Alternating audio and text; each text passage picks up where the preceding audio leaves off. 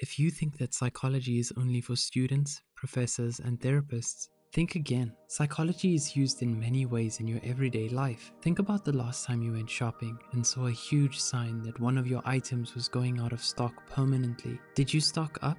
There you have it. That's social psychology. Psychology is the science of exploring the mind, looking at how people learn, and helping people make healthy lifestyle choices to improve well being. With that said, here's many ways psychology can help you live a better life that you probably never thought about before, and six great reasons to study it.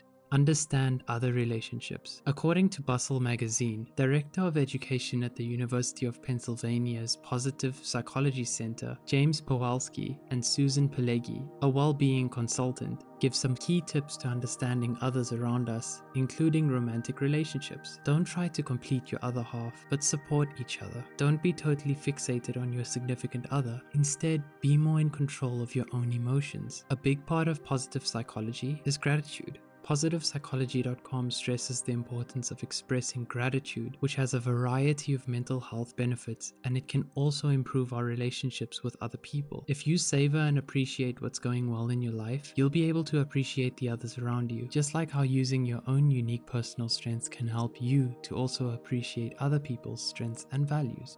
Understand yourself. Getting to know ourselves matters because we can respond better to what's going on in our lives. Margarita Tartakovsky for Psych Central tells us that we should learn to not let our emotions control us too much. According to psychotherapeutic counselor Lynn Martinson, when we aren't in touch with our emotions, they can surprise us without warning. We may hurt others without meaning to, or hold on to toxic people and habits when we shouldn't be. When we learn more about ourselves, we're more able to take better control of our lives. Martinson gives some great ideas on how to get to know ourselves better. We can pay attention to our bodies and learn what they are saying to us. It just shows how the body and the mind are connected. Our bodies have stuff to tell us and we often aren't paying attention to them. A great tip is to keep a dream journal and a regular journal to keep track of your thoughts and feelings and think through how your day is gone. Ginger Houghton, a psychotherapist from Michigan, says it's also important to explore negative feelings and experiences because they give us a lot of insight into ourselves and we can can learn a lot from them. Examining negative parts of your personality and your life can be challenging, so it's important to go easy on and not be harsh or judgmental with yourself. And getting to know yourself more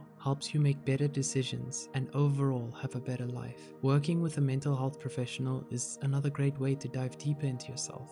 Communication skills. You probably didn't think psychology could help you communicate, right?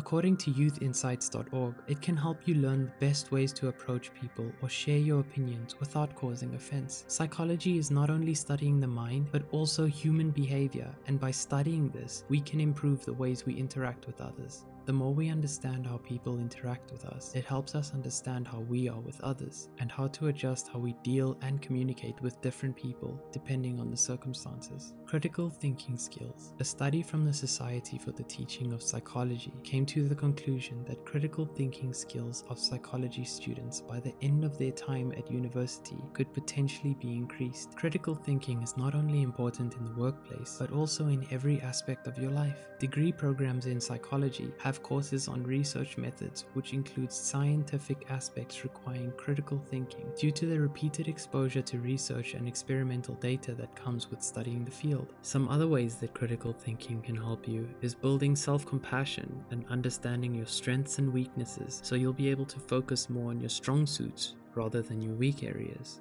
problem solving skills. Dr. Lauren Florko, a writer for Psychology Today who specializes in organizational psychology on workplace stress, explains how to improve our problem solving with psychology. She suggests getting curious about other people's points of view and differing perspectives, which give you different insights into problems you might not have thought about. Also, that thinking, Daydreaming and getting creative helps us break through stale thought patterns. Imagine you have to write an essay on pirates for school. Maybe while you're doing your chores, you can pretend you're Jack Sparrow, swabbing the decks while you're mopping the floor, and really get into the mindset of a pirate. She also advises being more flexible and thinking outside the box just in case life throws you for a loop. Remember you don't have to be perfect all the time and try to reach 100% when less is just as good. And you know how to recognize your problem solving skills are improving? Lauren says you'll start getting excited instead of anxious about change and uncertainty in your life. This excitable energy also helps you increase your self-confidence, which leads to our next point